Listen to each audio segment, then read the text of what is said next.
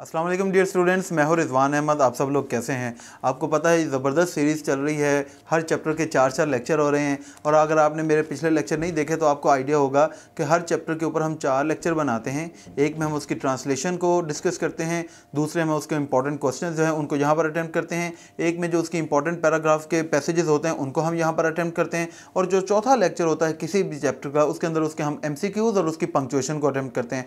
ये हमारा chapter number दस है, उसका आखिरी लेक्चर है जिसके अंदर इसके हम एमसीक्यूज और इसकी पंक्चुएशन को अटैम्प्ट करने जा रहे हैं। तो चले शुरू करते हैं कि सबसे पहले तो भाई, बच्चों देखें कि इसके अंदर जो एमसीक्यूज हैं, उनके सही आंसर्स क्या हो सकते हैं। तो हम यहाँ पर शुरू लिख देता हूँ मैं कि ये एमसीक्यूज हैं और आगे मैं इनके आंसर जो हैं वो आपको बताता जाऊँगा। सबसे पहले हमारे पास स्टेटमेंट है why did the cook boy run वो जो बावर्ची था, वो भागा क्यों था? टू किल द इंसेक्ट्स वो उन कीड़े मकोड़ों को मारने के लिए टू समन द लेबरर्स तमाम मुलाजमों को बुलाने के लिए to inform the land lady या वो मालकन को जो है इन्फॉर्म करने के लिए गया था टू सी द लोकल या वो बाहर टड्डी दिलों को देखने गया था। तो बच्चों, जो पहला एम है चैप्टर नंबर वन में, उसका बी ऑप्शन वो सही है टू समन द लेबरर्स कि वो बाकी जितने भी मुलाजिम होते हैं, उन सबको इकट्ठा करने गया था। दूसरी स्टेटमेंट है why did the house boy run off to the store वो जो घर का मुलाजिम था, वो दुकान की तरफ़ क्यों भागा? To shut the door to cover the store to collect any bit of metal या वो कोई लोहे का कोई भी टुकड़ा उसे मिल जाए उसको इकट्ठा करने के लिए टू बर्न फायर या आग जलाने के लिए। तो आपको पता है, हमने ये चैप्टर पढ़ भी लिया है ट्रांसलेशन आपको याद भी होगी। तो इसका ऑप्शन जो सी है, वो करेक्ट है कि वो एक दुकान पर गया कि वहाँ से जो भी लोहे से बनी हुई कुछ छोटी मोटी चीज़ें उसे मिल जाएँ, वो ले आए। जो तीसरी स्टेटमेंट है वो है why did the throw wet leaves on to the fire उन्होंने आग के ऊपर वो जो गीले पत्ते क्यों फेंके?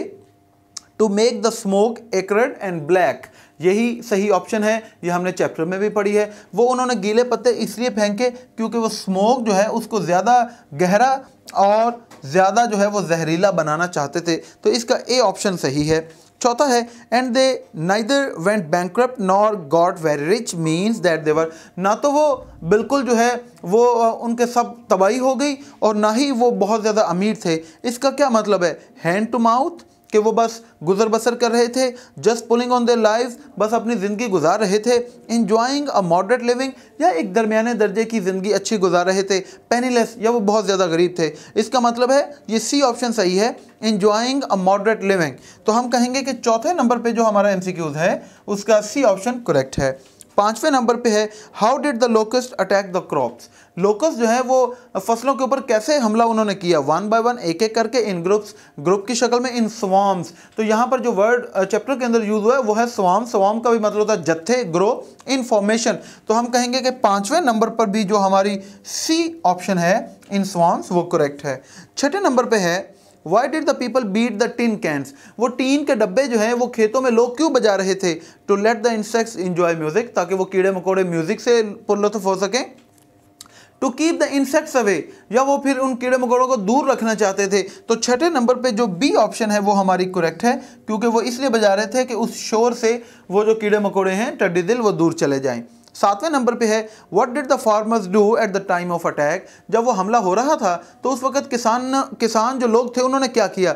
They ran away from the place वो उस जगह से भाग गए, या फिर they took precautionary measures to keep the locust away जी हाँ इसकी बी ऑप्शन सही है कि उन्होंने वो जितने भी प्रिकॉशनरी पहले से वो जितने भी इकदाम उठा सकते थे, वो सारे उठाए। तो हम कहेंगे कि सातवें का जो बी ऑप्शन है, वो सही है। प्रिकॉशनरी प्रिकॉशनरी का मतलब होता है कि कोई जो है वो अटैक होने से पहले या कोई भी मसला आने से पहले जो हम स्टेप्स लेते हैं।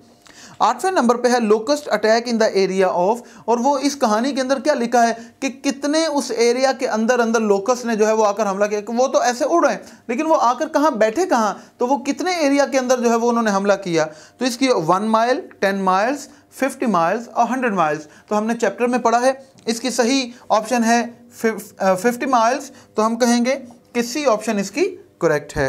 नौवें नंबर पे है what made the boughs of trees wet to the ground किस वजह से वो दरख्तों की शाखें जो हैं, वो बोझ से नीचे उतर आए? तो हमें पता है फ्रूट लोकस्ट बर्ड्स या विंड स्टोम तो इसका सही जवाब है लोकस्ट तो हम कहेंगे कि नौवें नंबर पे जो हमारा बी ऑप्शन है, वो करेक्ट है।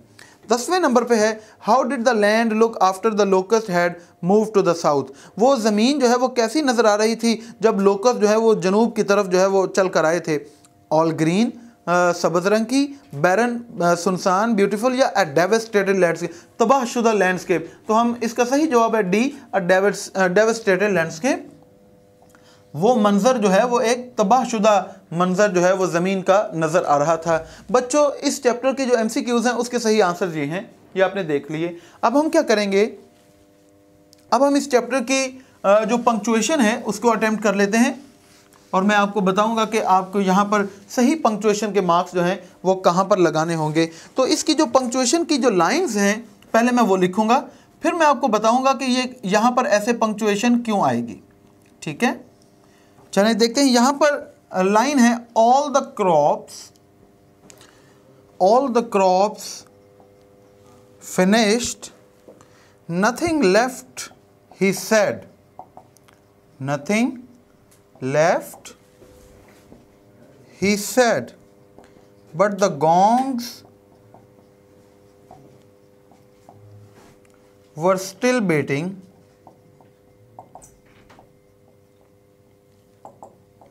The men still shouting.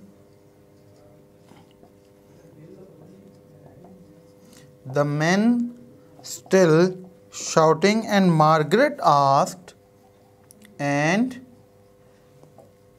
Margaret asked,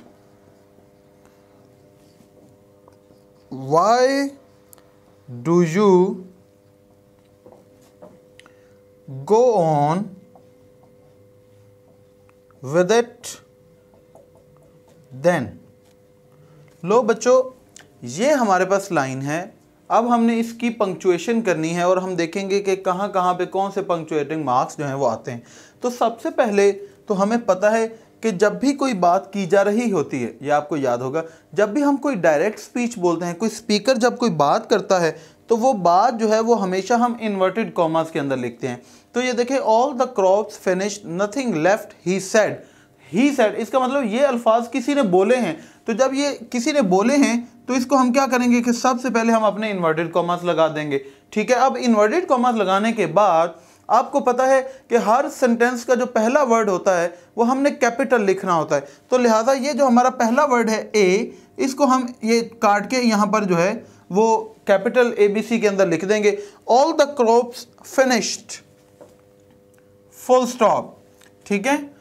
यहाँ पे हमारा सेंटेंस जो है वो ख़त्म हो जाता है। तो जब हमारा सेंटेंस ख़त्म होता है तो हम फुल स्टॉप लगाते हैं। All the crops finished nothing left तो अब हमारा अगला सेंटेंस शुरू होना है तो हम पहला जो हमारा वर्ड है, उसको हम फिर कैपिटल करेंगे।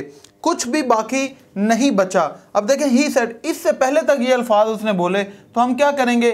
कि यहाँ पे हम अपना जो है वो इन्वर्टेड कॉमा जो हमने यहाँ से स्टार्ट किए थे, वो हम बाद के उसके अल्फाज यहाँ तक हैं तो लिहाजा ये बात जो है यहाँ तक चलेगी।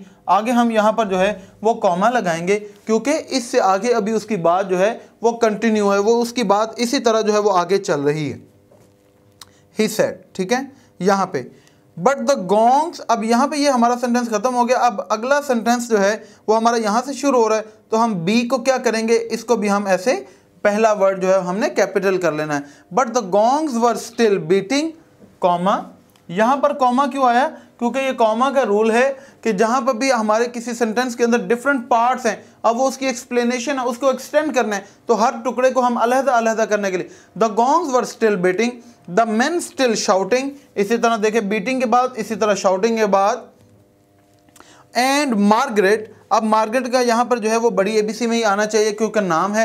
एंड मार्गरेट आस्ट मार्गरेट ने पूछा why do you go on with it तो ये मार्गरेट ने पूछा है तो हम यहाँ पर कॉमा लगाएँगे और उसी तरह क्योंकि ये अल्फाज किसी ने डायरेक्ट बोले हैं तो हम इसको जो है वो कैपिटल इसके अंदर इन्वर्टेड कॉमर्स के अंदर लिखेंगे और हमारा जो पहला वर्ड है उसे हम कैपिटल करके why do you go on with it comma और आगे देन फुल स्टॉप और आगे जो है वो हमारे इन्वर्टेड कॉमर्स बंद हो जाएँगे। ठीक है? बच्चों, ये हमने इसकी इस तरह जो है वो पंक्चुएशन करनी है। आप इसको देख लें, अपनी किताब निकालें और अपनी किताब में जो है इसको नोट डाउन कर लें। अगर आपको कोई क्वेश्चन है, कोई परेशानी है तो आप बेटा ज़रूर किसी भी टाइम जो है वो मुझसे आप पूछ सकते हैं कमेंट सेक्शन में। इंशाल्लाह आपको साथ ही फीडबैक दिया जाएगा। आज के लेक्चर के लिए इतना ही। इंशाल्लाह फिर हाजिर होंगे नए लेक्चर के साथ। तब तक के लिए मुझे इजाज़त दें। अल्लाह हाफिज़।